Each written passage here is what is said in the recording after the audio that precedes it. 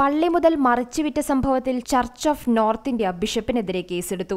Bishop Peter ബൽദേവനും മറ്റ് പതിനാറ് പേർക്കുമെതിരെയാണ് ഉത്തർപ്രദേശിലെ സിവിൽ ലൈൻസ് പോലീസ് കേസെടുത്തത്. പതിനായിരം കോടി രൂപയുടെ സ്വത്ത് വകകളാണ് വിറ്റതെന്ന് പോലീസ് പറയുന്നത്. ഇത് രാജ്യത്തെ തന്നെ ഏറ്റവും വലിയ തട്ടിപ്പായി കണക്കാക്കാം.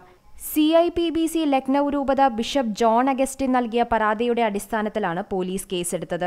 വ്യാജരേഖകൾ ചമച്ചാണ് പീറ്റർ ബൽദേവും കൂട്ടാളികളും വൻ തട്ടിപ്പ് നടത്തിയതെന്നാണ് പോലീസ് പറയുന്നത്. ലക്നൌ മഹാത്മാഗാന്ധി മാർഗിലെയും അലഹബാദിലെയും സ്വത്തുക്കളാണ് വിറ്റത്.